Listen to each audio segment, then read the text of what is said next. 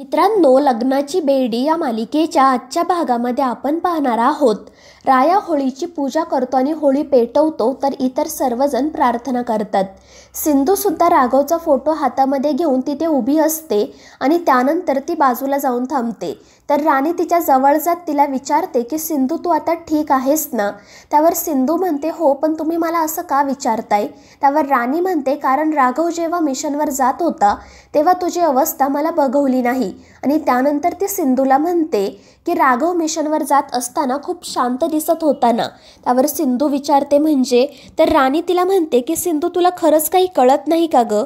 अगं राघवची तुझ्याकडून काहीतरी अपेक्षा असणार म्हणूनच त्याने तुझ्यासोबत मैत्री केली ना. मात्र राणी नक्की कशाबद्दल बोलतीये हे सिंधूच्या लक्षात येत नाही. तर दुसरीकडे राघव सदाला विचारतो की तुझी बायको श्रुती तुला नक्की कुठे भेटली आणि ती काय करते? त्यावर सदा त्याला सांगतो की श्रुती ती एका शाळेमध्ये टीचर आहे आणि ती खरंच खूप चांगली आणि समजूतदार मुलगी आहे. परंतु तिचा या सगळ्याशी काही संबंध नाही. आणि ते ऐकून राघव त्याला समजवण्याचा प्रयत्न करतो की अरे सदा हे काय चाललंय तुझं?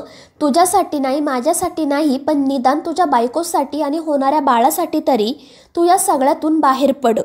कारण जर उद्या तुला काही झालं तर तुझ्या बायकोचं आणि होणाऱ्या बाळाचं काय होणार याचा विचार केलाय का तू? आणि ही वेळ कधीही येऊ शकते.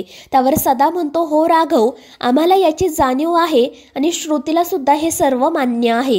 आणि ते ऐकून राघवला मोठा धक्का बसतो.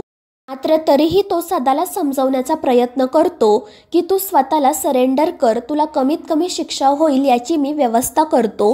मात्र सदा त्याला म्हणतो की नाही राघव ज्या सिस्टीमच्या विरोधात मी इतकी वर्ष लढा देत आहे त्या सिस्टीमला मी शरण जाणार नाही. तर राघव त्याला समजवण्याचा खूप प्रयत्न करत असतो. मात्र सदा त्याच्या निर्णयावर ठाम असतो. तर दुसरीकडे रत्न पारखींच्या घरी सर्वजण होळीची पूजा करत असतात. तर सिंधू राणीला म्हणते की मधुताई तुम्ही नक्की कशाबद्दल बोलताय ते मला खरंच कळत नाही. आणि त्यावर राणी हसतच म्हणते की सिंधू तुला खरंच कळत नाही आहे का?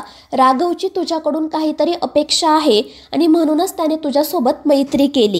परंतु सिंधू ही गोष्ट मान्य करायला तयार नसते. ती राणीला म्हणते की राघव सर आणि मी फक्त चांगले मित्र आहोत. दुसरं कोणतंही नातं आमच्यामध्ये नाही.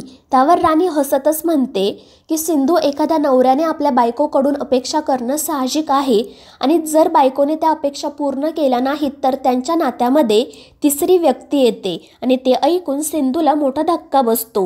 मात्र तरीही ती राणीला म्हणते की मधुताई आमच्या नात्यामध्ये असं काही होणार नाही. आम्हा दोघांमध्ये तिसरी व्यक्ती येणार नाही. आणि त्यावर राणी म्हणते की मला सुद्धा असंच वाटलं होतं. मात्र आम्हा दोघांमध्ये तू आलीच ना. आणि ते ऐकून सिंधू गप्प बसते. तर दुसरीकडे बराच वेळ झाला पण तरीही राघव परत कॅम्पवर आला नाही म्हणून त्याची टीम त्याला शोधण्यासाठी बाहेर पडते आणि पोलिसांना पाहून सदा राघववर गन रोखतो. राघव त्याला समजवण्याचा प्रयत्न करत असतो मात्र सदा त्याला म्हणतो की राघव तू माझा विश्वासघात केला आहे.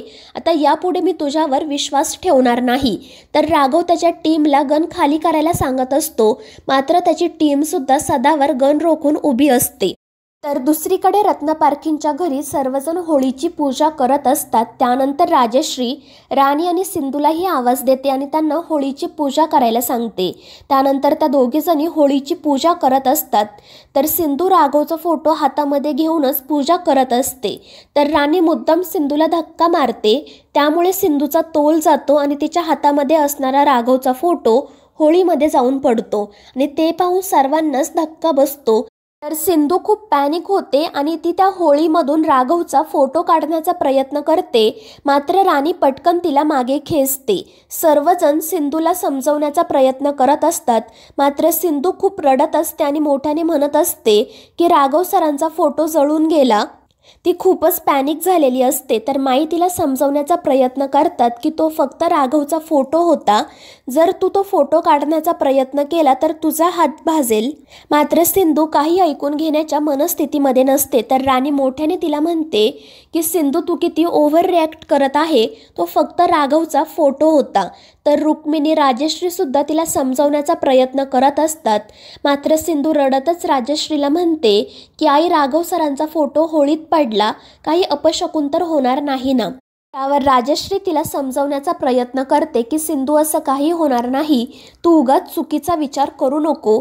मात्र राघवच्या काळजीने सिंधू खूप रडत असते. त्यामुळे रुक्मिणी राजश्रीला सांगते की तू सिंधूला घेऊन आतमध्ये जा आणि त्यानंतर राजश्री आणि सिंधू घरामध्ये जातात. तर राणी त्या होळीकडे पाहत उभी असते. तर दुसरीकडे राघव सदाला समजवण्याचा प्रयत्न करत असतो. मात्र सदा त्याला म्हणतो की राघव मी तुझ्यावर विश्वास ठेवून खूप मोठी चूक केली पण यापुढे मी अशी चूक करणार नाही. आणि तो राघवला सांगतो की तुझ्या टीमला गन्स डाऊन करायला सांग. मात्र राघवची टीमसुद्धा सदावर गन रोखून उभी असते. शेवटी राघव त्यांना गन्स डाऊन करण्याची ऑर्डर देतो आणि त्यांना खाली बसायला सांगतो.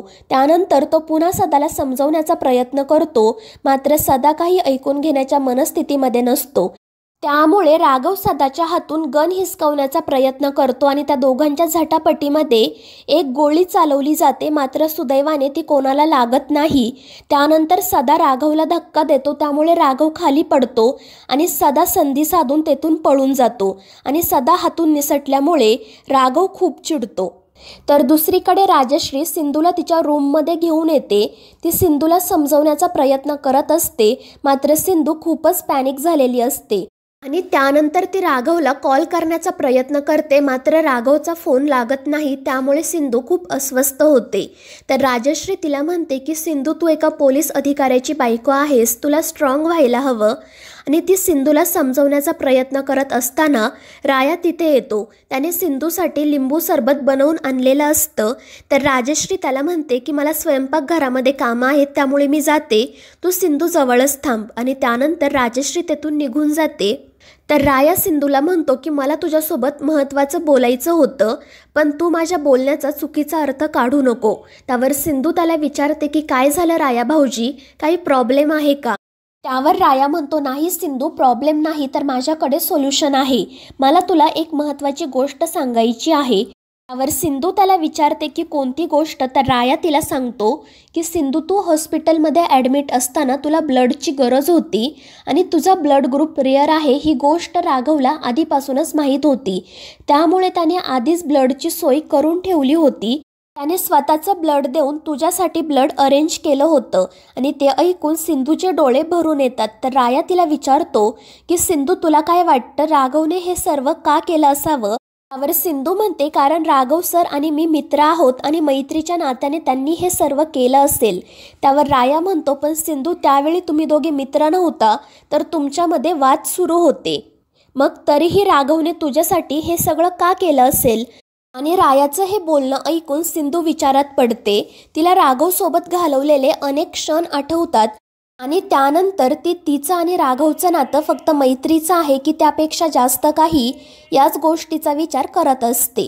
तर मित्रांनो या मालिकेच्या पुढील भागांमध्ये आपण पाहणार आहोत की राघवच्या फोटोमध्ये सिंधूच्या गळ्यातील मंगळसूत्र अडकतं आणि ते तुटतं त्यामुळे सर्वजण काळजीत पडतात. तर मित्रांनो या मालिकेच्या पुढील भागांच्या अपडेटसाठी आपल्या चॅनलला सबस्क्राईब करा.